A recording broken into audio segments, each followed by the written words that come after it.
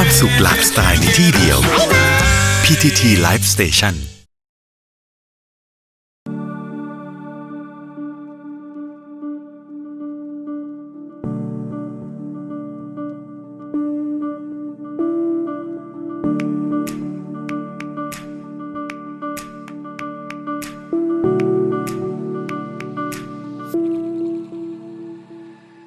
และสำหรับตอนนี้นะครับผมพาชาว Max TV นะฮะมาอยู่กับค่ายนี้นะครับ Volvo นะฮะกับตัวรถใหม่คันนี้ที่เปิดตัวในงานนี้เลยนะครับ กับ Volvo XC90 นั่นเองนะครับ ดูจากรูปลักษณ์ภายนอกโอ้โห ผมนี่สะดุดตา ทั้งซ้ายและขวาก่อนเลยนะครับ เอากลับมาที่เรื่องรถดีกว่านะฮะบอกก็เลยว่าเป็นอะไรที่ใหม่มากๆ แล้วก็น่าสนใจสุดๆนะครับ เพราะว่าเจ้ารถคันนี้เนยครับ XC90 นะครับนี่ผมถือ โอ้โห เรียกว่าโบรชัวร์มาแบบจัดเต็มนะฮะเนื้อหานี่มาเป็น magazine เลยนะครับเพราะว่าคันนี้เนี่ยนะฮะมีอะไรใหม่ ๆ แล้วก็น่าสนใจมากๆ อยู่เพียบเลยทีเดียวนะครับอ้าวพูดถึงเรื่องแรกนะครับกับเรื่องของเครื่องยนต์ก่อนเลยดีกว่านะครับเครื่องยนต์ตัวนี้เนี่ยนะฮะชื่อว่า T8 Twin Engine All Wheel Drive หลายคนงงแล้วฮะว่าอ้าว Twin Engine มันคืออะไรยังไงนะฮะเจ้า XC90 คันนี้เนี่ยนะครับ ด้านหน้าเนี่ยนะฮะเป็นเครื่องยนต์เบนซิน 2.0 ลิตร 4 สูบนั่นเองนะครับอันนี้ทุกคนรู้กันดีอยู่แล้ว แต่ว่าครับเครื่องยนต์ที่เพิ่มมาใหม่นะฮะอยู่ด้านหลังเป็นมอเตอร์ไฟฟ้านะครับใช้ระบบขับเคลื่อนแบบไฟฟ้า แล้วก็ขับเคลื่อนอยู่ล้อหลัง สามารถปลั๊กอินนะฮะเสียบชาร์จไฟได้ เดี๋ยวเรามาดูภายในกันบ้างดีกว่าว่ามีอะไรที่น่าสนใจกันบ้างตามผมเลยฮะวอลโวความหรูหรานี่มาแบบจัดเต็มอยู่แล้วนะฮะเรื่อง ความสะดวกสบายนะครับ ก็มีมาให้แบบครบคันนะฮะขออนุญาตนะครับ โอ้โห หน้าจอนี่ต้องบอกว่าน้องๆ iPad เลยทีเดียว แล้วก็สำหรับเจ้า XC90 คันนี้เนี่ยนะฮะเขามีของเสริม แต่ว่าต้องเป็นซื้อเพิ่มนะฮะกับระบบของ Apple นะฮะที่จะเอามาใส่อยู่ในตรงนี้เลยนะครับ ราคาประมาณ 20,000 หน่อยๆนะครับ ถ้าคุณอยากซื้อเพิ่มนะครับ แล้วก็ โอ้โห ความสะดวกสบายผมตื่นเต้นเลย เดินเข้ามานี่ สวยไปหมดทุกอย่างนะครับ ขอลองนั่งหน่อยดีกว่าว่า เรื่องของเบาะที่นั่งต่างๆเนี่ยสำหรับผมแล้วเนี่ยนะฮะจะเป็นอย่างไรบ้าง โอ้คันนี้นะฮะความสะดวกสบายมาแบบจัดเต็มนะฮะแล้วก็เซ็นเซอร์รอบทิศทางนะครับ มีซันรูปมาให้ด้วยนะครับ แล้วก็ระบบเกียร์นะฮะก็เป็นออโต้นะครับที่ใช้งานง่ายนะฮะสามารถแค่ดึงปรับแค่นี้ก็สามารถขับเคลื่อนได้แล้ว รที่ชอบรถสไตล์แบบว่ายุโรปยุโรปแบบนี้นะฮะโอเคมากๆเรามาดูด้านหลังบ้างดีกว่านะครับโอ้โหต้องบอกว่าใหญ่กว่าตัว XC60 พอสมควรเลยด้านหลังนะฮะถ้าเกิดว่ามีคนตัวใหญ่อย่างผมนั่งแล้วเนี่ย เจอคนตัวใหญ่อย่างผมขึ้นไปอีกดูซิว่าจะเป็นยังไง ก็ยังได้นะ หัวเกือบติดแต่ว่าก็ยังโอเคอยู่นะฮะ ด้านหลังเนี่ยนะฮะมีหน้าจอให้ปรับนะครับแอร์สำหรับคนที่นั่งด้านหลังอีกด้วย ก็ให้ความสะดวกสบายมาแบบครบครันนะฮะสำหรับเจ้า XC 90 คันนี้ แล้วก็สันลูปเนี่ยเป็นแบบจะเรียกไงดี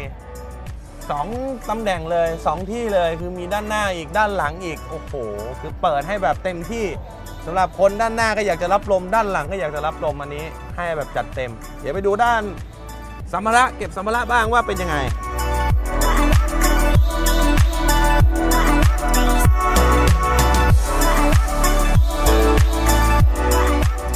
อนครับกับ SUV จากค่าย Volvo นะฮะ รูปทรงของไฟท้ายเนี่ยก็ยังคล้ายๆกับ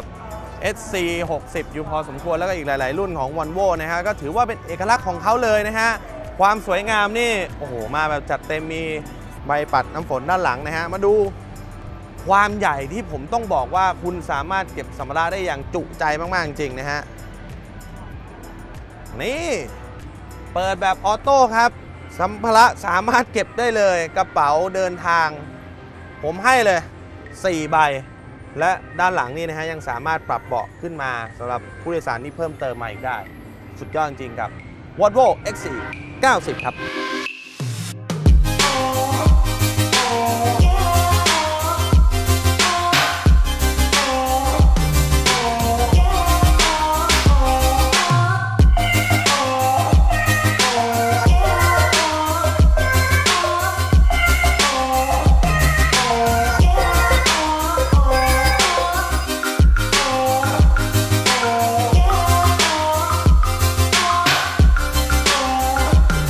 และสำหรับตอนนี้นะครับผมพาชาว Max TV นะครับมาสะดุดตากับที่คันนี้เลยนะครับ เป็นมินินั่นเองนะครับ ถือได้ว่า โอ้โห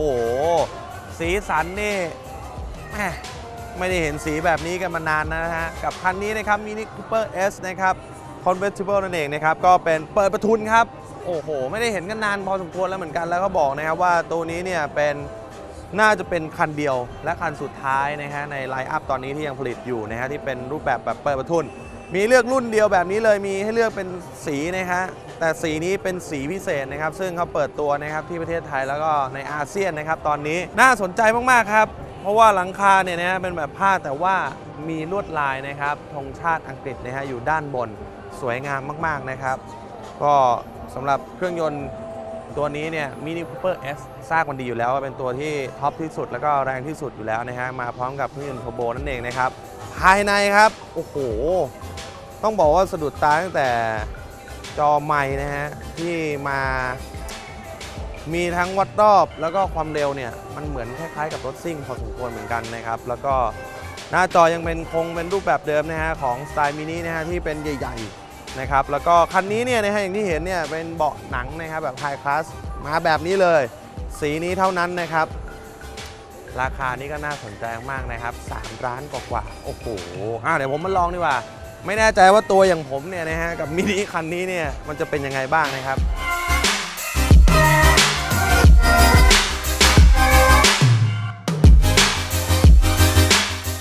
เรียกได้ว่าเปิดประทุนแบบนี้นะครับ เราก็รับทั้งไอแดดแล้วก็รับทั้งลมนะฮะโอ้โห ขึ้นมานั่งเนี่ยคันนี้นี่ผมว่าตอบโจทย์สำหรับวัยรุ่นเลยทีเดียวนะฮะหรือว่าวัยทำงานแล้วแต่อยากมีรถน่ารักน่ารักเท่ๆไว้สักคันผมว่ามินิ Cooper S ตัวนี้เนี่ยนะครับตอบโจทย์มากๆนะครับ ปุ่ม Start ปุ่ม Traction Control ต่างๆ นี่ก็มาในรูปแบบแบบเหมือนเป็นสวิตช์เครื่องบินนะครับผม Air d i g i t a l ต่างๆ ที่ผมชอบที่สุดนะผมว่าตัวนี้เนี่ยในเรื่องของไมค์เกวัตต่างๆเนี่ยนะฮะความเร็วกับวัดรอบเนี่ยมันลงตัวมากคือมันเหมือนจอแบบซิ่งๆ แล้วก็มีวัดรอบอยู่ข้างๆนะฮะสวยงามมากๆ แล้วก็ด้านบนนี่ก็เป็นสวิตช์เหมือนเครื่องบินเลย โอ้โหสุดยอดครับ ด้านหลังนะฮะคงไม่ต้องพูดถึงนะครับ ก็อาจจะเป็นที่ใส่สัมภาระได้พอประมาณนะครับ หรือว่าถ้ามีตัวมีเพื่อนนะฮะหรือว่าผู้โดยสารที่ขนาดตัวไม่ใหญ่มากเนี่ยก็ยังสามารถนั่งด้านหลังได้นะครับ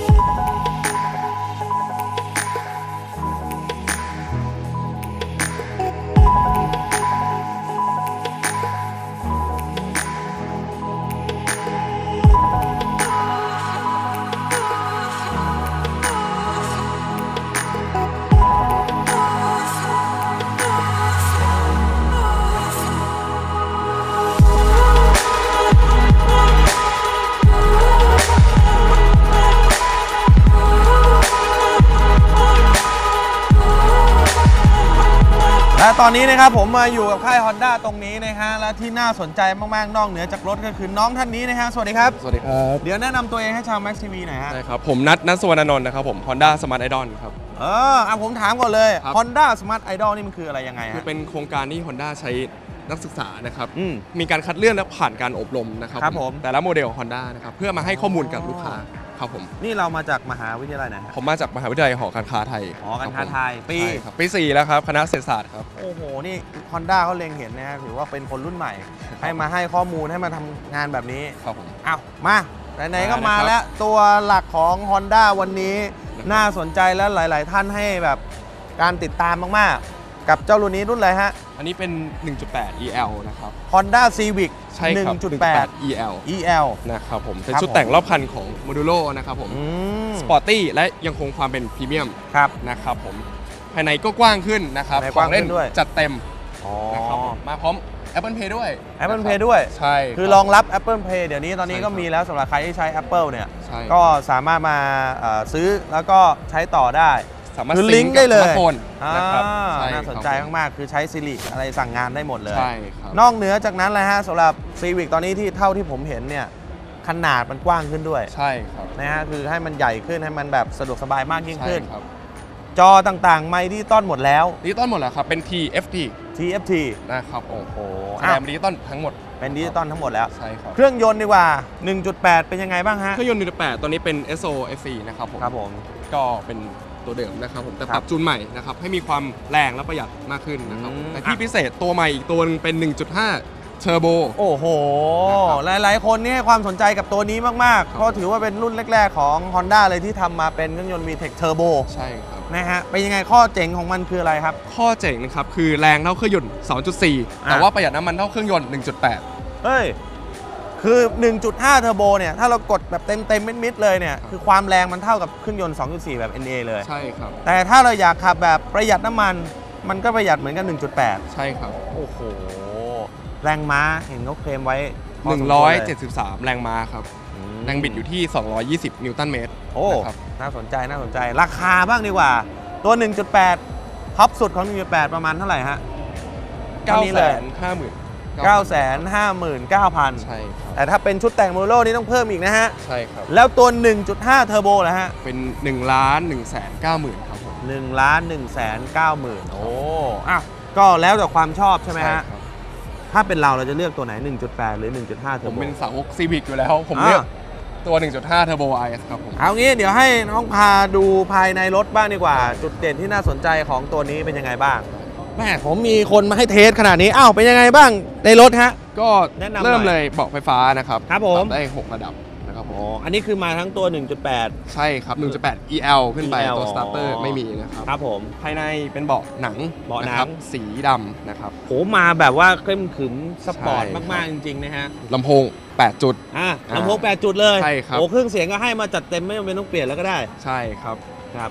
ADA รองรับ Apple CarPlay อ๋อนะค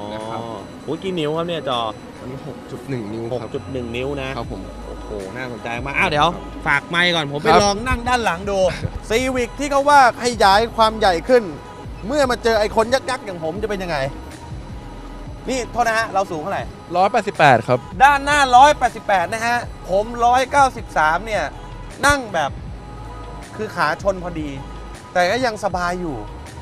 คือเขาขยายความกว้างด้านหลังขึ้นมาพอสมควรจริงๆนะฮะ ตอนนี้นั่งอยู่ภายในรถเนี่ยก็รู้สึกถึงความใหญ่มากขึ้นนะครับสำหรับเจ้า